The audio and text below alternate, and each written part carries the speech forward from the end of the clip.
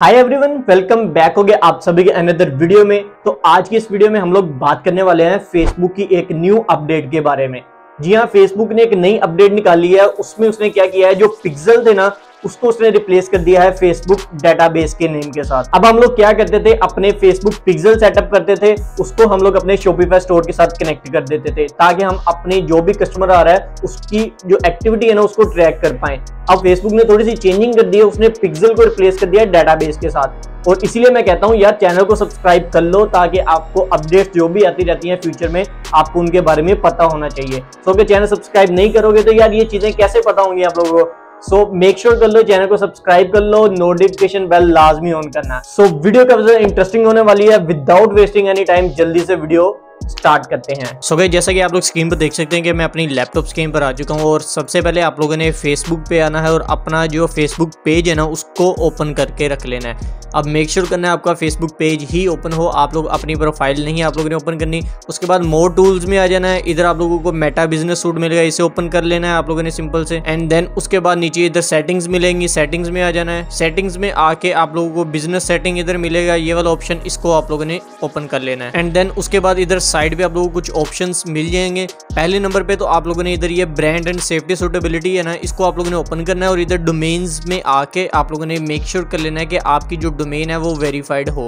अगर आप लोगों ने डोमेन वेरिफिकेशन नहीं की हुई तो आप लोग इसको पहले डोमेन को वेरीफाई करो, बाद में आप लोगों ने डाटा सेट जो है मतलब कि जो पिक्सल है, उसको फिर बाद में सेट करना है। अगर आप लोगों को नहीं पता कि डोमेन वेरिफिकेशन किस तरीके से करते हैं तो इधर आई बटन में आप लोगों को वीडियो का लिंक आ रहा होगा और नीचे डिस्क्रिप्शन बॉक्स में भी मैं वीडियो का लिंक प्रोवाइड कर दूँगा। सो मेक श्योर करना इस वीडियो को देखने के बाद आप लोग वो वीडियो पहले जाकर देख लेना, जिसमें मैंने डोमेन वेरिफिकेशन बताया हुआ है। और इसको मैं इधर से सिंपल से क्लोज कर देता हूँ। आप लोगों ने डाटा सोर्सेज ये वाला जो बटन है ना, इसको आप लोग ओपन करना है। इधर आप लोग चेक करो तो पिक्सल्स आपको देखने को मिल जाते हैं। अगर मैं पिक्सल पे क्लिक करूँ तो ये चेक करो, इधर ये ऑप्शन विजिबल ही नहीं है। अब फेसबुक ने इस चीज़ को इधर से ख़त्म कर दिया है इसको। फेसबुक ने नाम दे दिया है डाटा सेट का।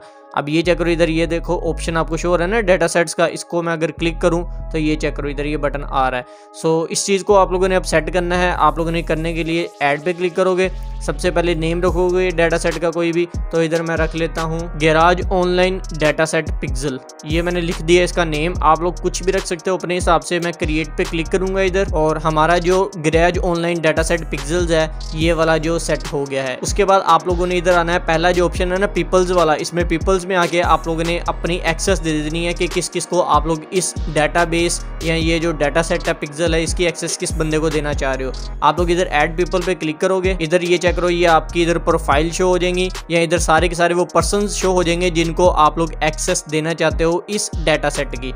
सही है? उसके बाद आप लोगों ने सिलेक्ट करने के बाद इधर से ये दोनों ऑप्शन जो है, इनको ऑन कर देना है और असाइन पे क्लिक कर देना है। जैसे असाइन करोगे तो ये पीपल ऐड हो जाएँगे। उसके बाद आप लोगों ने डन करना है और ये चेक करो, इधर पीपल्स में एक्सेस मिल चुकी है इस बंदे को। अब जितने भी लोग आप लोग इधर ऐड करोगे, जितने भी पर्सन आप लोग इधर ऐड करोगे, वो सभी लोग इस डाटा सेट को मतलब इस पिक्सल को एक्सेस कर सकेंगे। इसके बाद आप लोगों ने क्या करना है इवेंट्स मैनेजर में जाना है और अपने शोबीफाई स्टोर के साथ उसको कनेक्ट कर देना है। उसके लिए आप लोगों ने इधर ओपन इवेंट्स मैनेजर का बटन मिल रहा होगा, इसको क्लिक करके ओपन कर लेना है। जैसे इवेंट्स मैनेजर में आप लोग आओगे तो इधर साइड पे आप लोगों के जितने भी आप लोगों ने डाटा सेट्स बना के रखे होंगे ना, इधर लेफ़्ट साइड पे सारे के सारे शो हो जाएँगे। तो आप लोगों ने मेक श्योर करना है, जो भी आप लोग डाटा सेट सेट करना चाह रहे हो, उसको आप लोग सेलेक्ट कर लो पहले। उसके बाद आप लोगों ने इधर से बाकी की सेटिंग करनी है। अब करना क्या है, नीचे स्क्रॉल डाउन करना है सिंपल से। इधर आप लोगों को इधर सेटअप मेटा पिक्सल का एक ऑप्शन मिल रहा होगा। इसको आप लोगों ने ओपन कर लेना है। ओपन करने के बाद इंस्टॉल कोड मैनुअली पे क्लिक करना है सिंपल से। एंड देन इधर आप लोगों को एक ये कोड देंगे। आप लोगों ने इस कोड को इधर से कॉपी कर लेना है। कॉपी करने के बाद आप लोगों ने जाना है अपने शोपीफाई स्टोर में। शोपीफाई स्टोर में आने के बाद ऑनलाइन स्टोर में आ जाएँगे थीम्स वाले सेक्शन में आ जाना है और आप लोगों ने उसके बाद अपने थीम में जाके इस कोड को पेस्ट करना है। थ्री डॉट्स पे आप लोगों ने इधर क्लिक करना है एडिट कोड पे क्लिक करना है एंड थीम डॉट लिक्विड का इधर एक सेक्शन मिलेगा, उस पर क्लिक करके आप लोगों ने नीचे स्कोल डाउन करते आना है। इधर आप लोगों को एक हेड का टैग मिलेगा, ये चेक करो। हेड का क्लोजिंग टैग जो होगा ना, ये वाला, जिधर हेड टैग क्लोज हो रहा है, उधर आप लोगों ने इसके ऊपर, इधर मैं एक, दो तीन थ्री स्पेसिस दी हैं और एक जो पहले वाली स्पेस होगी, उसको छोड़ देना है। सेकंड वाली जो स्पेस होगी ना, इधर आके आप लोगों ने उस कोड को पेस्ट कर देना है। अब ये चेक करो मेटा पिक्सल कोड इधर पेस्ट हो गया है। उसके बाद सिंपल से आप लोगों ने इसको सेव कर देना है कोड को। एसेट्स जो है हमारे सेव हो चुके हैं। उसके बाद आप लोगों का काम इधर से कंप्लीट हो गया है। दोबारा चलना है इधर। इसको हम लोग कंटिन्यू करेंगे। कंटिन्यू करने के बाद आप लोगों ने turn on automatic advance matching इसको आप लोगों ने सिंपल से ऑन कर लेना है और मेक श्योर sure करना है ये सारे के सारे जो ऑप्शंस हैं ये सारे ऑन ही हों। उसके बाद इसको कंटिन्यू कर देना है। सो so, हमारा काम जो है वो इधर खत्म हो चुका है। अब इसके बाद आप लोगों ने सिंपल से क्या करना है बैक आ जाना है इधर से। बैक आने के बाद सेटिंग्स में आना है। सेटिंग्स में आने के बाद नीचे आप लोगों ने इधर से स्क्रॉल डाउन करना है और इधर आप लोगों को एक ऑप्शन मिलेगा ऑटोमेटिक वेबसाइट मैचिंग का। तो आप लोगों ने इसको देख लेना अगर तो ये ऑन है। अदरवाइज़ अगर ऑफ़ है तो इसको आप लोगों ने ऑन कर लेना है। फिर नीचे आप लोगों ने स्क्रॉल डाउन करना है। इधर एक track event automatically without code का एक ऑप्शन मिलेगा। इसको भी आप लोगों ने ऑन कर लेना है।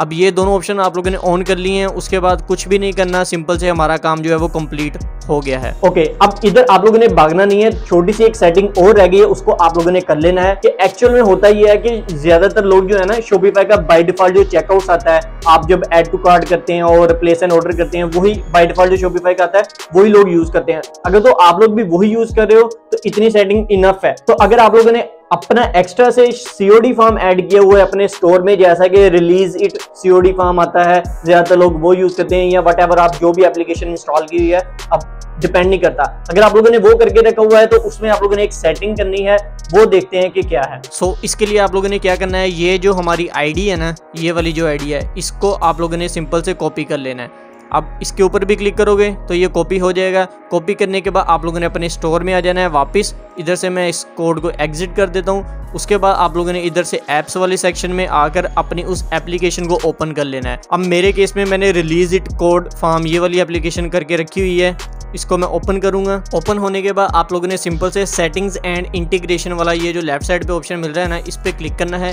क्लिक करने के बाद इधर आपको एक पिक्सल का बटन मिलेगा। पिक्सल में आप लोगों ने आ जाना है। उसके बाद आप लोगों ने ऐड आइटम पे क्लिक करना है।